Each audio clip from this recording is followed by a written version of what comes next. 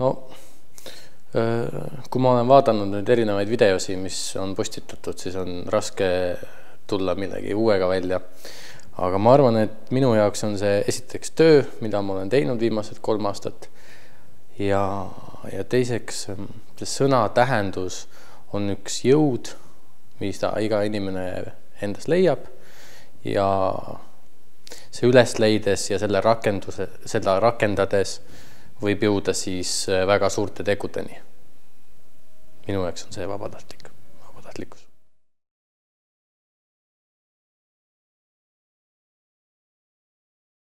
jah, äh, loomulikult, äh, kuna, kuna olen kasvanud peres üles, kus see on olnud alati olulisel kohal, siis paratamatult see ei läinud kaarega mööda, vaid pigem täiega läbi. et jah,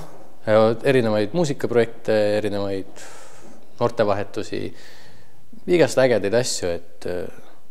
et see ongi üks äge, äge töö ja sellepärast olen ka, olen ka seda teinud ja teen kindlasti edasi.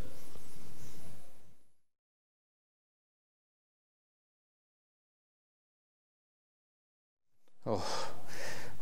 ma arvan, et kõige rohkem saad tutvusi, uusi kontakte millega kunagi edasises elus äh, edasi minna ja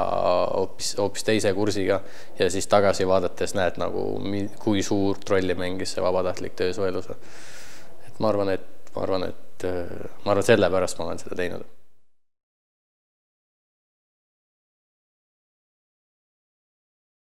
aga muidugi äh, paljud, paljud on minu sõpradest on ka hakanud tegema seda juba sellepärast, et nad on näinud, et kas mina või või ühing, kus ma, kus, mille läbi me teeme asju. et meie oleme teinud, seega me oleme juba seda mõju suutnud avaldada ja ja kindlasti, kindlasti avaldame edasi ja teeme ägedaid projekte ja kaasame noori ja nii et loomulikult soovitan, ma pigem ütlen, et see on nagu kohustuslik, kohustuslik on teha, nagu Tiit Pannanen väga hästi ütles, mulle meeldis ta videos tema vastus, et, et kuidas alustada. et see nagu ei olegi pigem see, et nagu peab alustada, et tuleb alustada ja nii on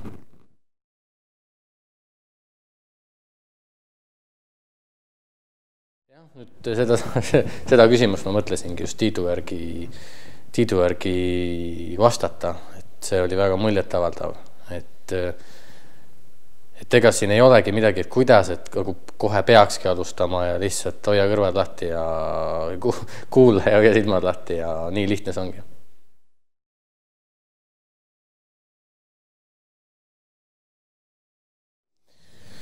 ma mõtlesin selle loo peale ja lugusid on nii palju, et, äh, et raske on kohe midagi eraldi välja tuua, et äh, pigem, pigem on äh, need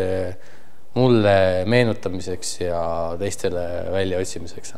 et väga palju. et raske on tuua ühte niisugust lugu, et kõik, mis me oleme teinud ja kõik, mis mina olen teinud, et need, mis me oleme igale poole kirjutanud et äh, alati võib üles otsida Raplamaa noored ja sealt tutvuda erinevate asjadega. ja nüüd kõik lasteplaati ostma, veel jõuab